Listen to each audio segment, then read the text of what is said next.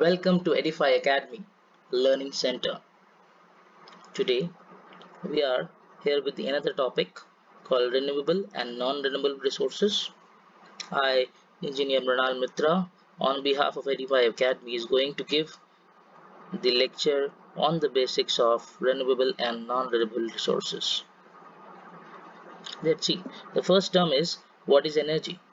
We all know that we have studied these things from the schooling uh, to the uh, end of our life. We every time we used to find out what is energy and how it is created can it be created or not. So it can neither be created nor be destroyed because we cannot create energy. We can only convert energy. That's why the energy is the ability to do work. Whatever work we are doing the energy is required for completing that work or it is the capacity for vigorous activity. Let us see what are the types of energies.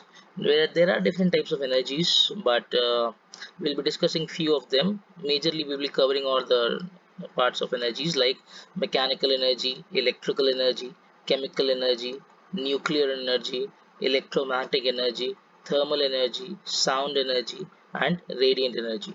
Most of the energies are the types of energies we have discussed up till now uh, let's see. What is the natural resource or what are natural resources? All of the earth's organisms like whatever is present in, uh, inside and outside or inside the atmosphere of the earth all of the earth's organization like air water and soil as well as materials which is inside the earth such as oil coal and ore that are removed from the ground. That is considered as the natural resources. The resources which are present naturally on the surface, inside the surface or above the surface of the earth. We separate these into two broad categories. First is renewable resources and other is non-renewable resources. What is what are renewable resources? So renewable we can understand from the word itself renew. It can be renewed. The resources which can be renewed it is a long lasting resources. Are the resource are any resource that cycles or can be replaced within a human lifespan? If I take the human lifespan as a 60 nowadays it can be 60 to 70 years. Probably in the past it was around 100 years. Uh, then we can consider these type of resources which can be replaced or which can be recycled. Okay examples includes water crop wind soil sunlight animals etc we can see where it, it is used windmills, HEP hydroelectric power, wood as a biomass, wave for the MHD and different forms of devices and solar energy for the photovoltaic cell.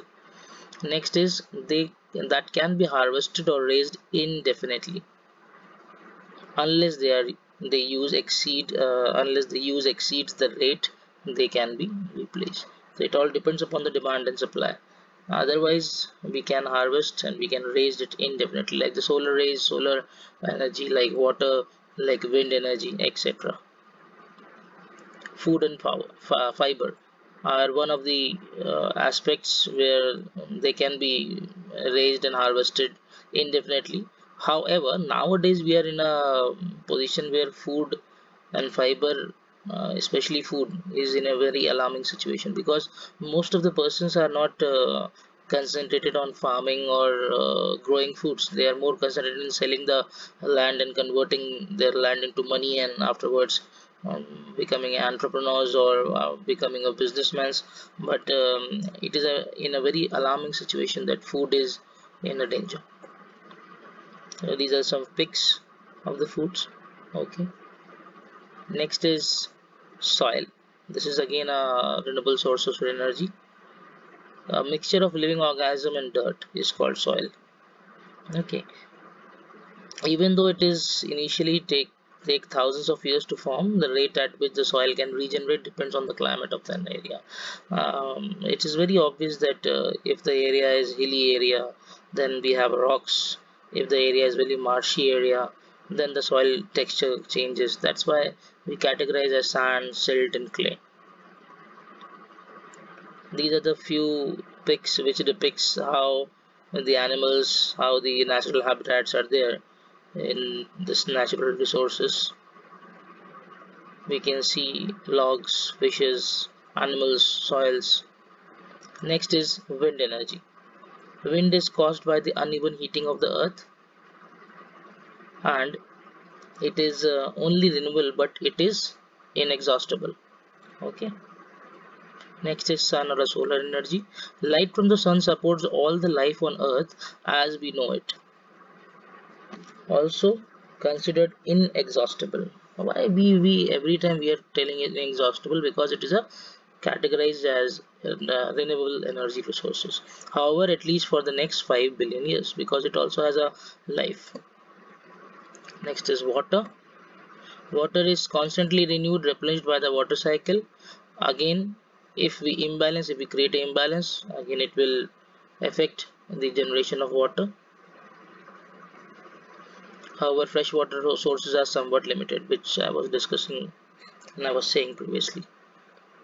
Even though we have uh, the whole earth is around 70 75 percent water but drinking water is not a very unlimited type of thing. So we have to save water every time. The use and quality of the water must be carefully monitored to ensure future use. These are the few pictures which depicts windmill water seawater. Next is biomass.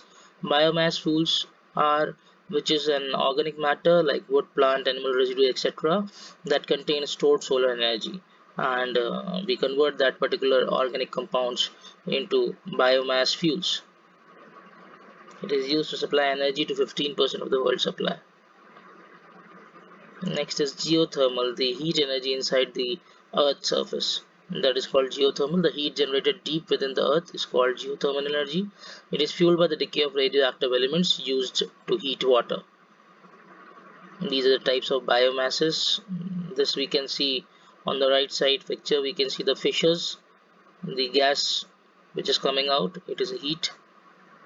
These are again the heat of the earth in form of lava of the volcano Next is non-renewable resources, the resources which are mostly used. It is non-renewable, so somewhat it is cannot be renewed. Any sources that cannot be replaced during the time of the human lifespan. It is very important, human lifespan around 100 years. It took millions of years to form and exist in the fixed amount of in earth. They need to be conserved before they become depleted. That's why every time we used to say the conservation of energy is very important like the ores. Mineral deposits from which valuable metals and non-metals can be recovered for the profit. Metal ores or metallic ores like gold, silver, copper, aluminum, zinc, etc. Next is non-metallic ores include salt, sand, gravel, clay, diamond, gemstones, etc. These are the few pictures of different ores, different salt, different rocky substances next is fossil fuels again it is a non-renewable because they take millions of years to form in developing countries fossilized fuels charcoal fossilized wood, wood and peat lignite bituminous. These are different types of fossil fuels. In developed countries coals natural gases and oils. These are again the pics we can see the uh, types of non-metallic ores. Coal.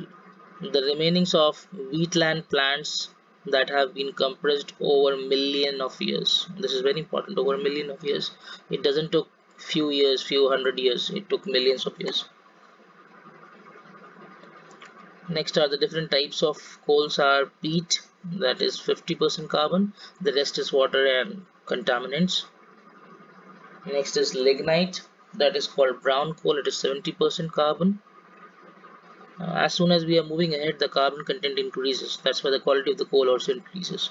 Bitum bituminous is called the soft coal about 85% carbon and anthracite it is called a hard coal greatly than 90% carbon. Cleanest burning and less ab abundant. Why cleanest burning? Because it contains less quantity of water and more quantity of carbon. That's why it combusts very easily. Next is petroleum and natural gases. Are the remains of the mainly marine organisms. So petroleum and natural gases are uh, very readily available in the ocean's bed. Why? Because it is the, those are the remains of the marine organisms. typically found in underground formations called traps with the natural gases trapped on top and oil on the bottom. This is an oil plant machine. We can see that how the oils and natural gases are extracted on the ocean bed. This is burning gas that is called methane CH4 and these are the anticline traps where the oils are extracted. This is the global energy use in production, global energy consumption, the fraction 2017. All fuels around coal is 27%, most of this is oil 34.2%, next comes coal 27.6%, natural gas 23.4%, and then renewable 10.4 and nuclear 4.4 percent. Out of this renewables resources because we are more concentrated on it uh, we uh, we use as 65.4 percent is used as hydroelectric power HEP it can be a nano hydroelectric power or small or mega.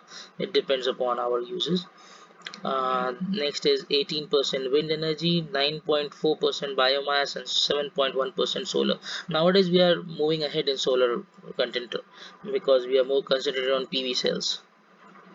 Usage leads to using more fossil fuels accelerated the global warming trend due to more greenhouse emission and pollutions. Because we are uh, we are increasing the pollution levels by our uses. That's why these renewable resources came comes into existence. And what are the effects? Will a growth in the global energy use produce? Global warming is the one of the biggest effect. Carbon footprint. Alternative energy resources there are energy resources that are more renewable or more environmentally friendly in comparison to fossil fuels. However the efficiency are less currently include the following solar wind geothermal hydropower nuclear and biomass. Solar energy it can be used to heat buildings and water and provide electricity. Passive solar heating can be used for uh, the room heating and uh, facing windows to collect the sun's energy. We can see that this is a type of structure where uh, window panes are fiber or glass which holds the energy solar energy inside the room solar cells which converts the solar energy into electricity for residential use. However the efficiency is very less. It is around 23 percent. Wind energy turns giant wind turbines that produce electricity. Every time we are converting the wind uh, one form of energy into the another form of energy. Here also we are converting the wind energy into which is around 4 to 7 around 21 kilometers per hour. If the wind moves then effectively it gives some electricity uh, this is one of the most used hydropower electricity where the turbine is turned the water falls from the dam and around 1500 rpm the electricity produces.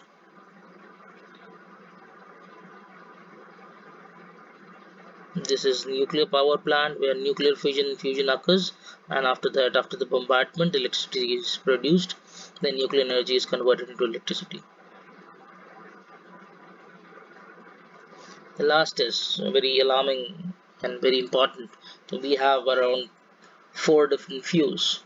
First is wood. It is around 1 million years ago and old.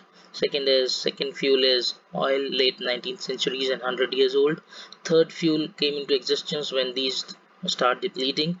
Green sources like solar and wind which is 20 years old and nuclear which is 50 years old but uh, from my point of view there is again a fifth fuel that is called the energy efficiency because saving is equal to generation. If i if we all together save energy while moving out of the room we should, we should switch off the lights uh, while water is of no use then we should uh, close the tap. And by saving small amount of energies it is equal to generation. So this is the fifth fuel that is energy efficiency thank you. Like share and subscribe for more updates. I have a channel. This channel is on the YouTube Edify Academy Learning Center. Website Edify Academy Learning Center business site. It is on Google Business site. And FB page that is www.facebook.com slash edify academy.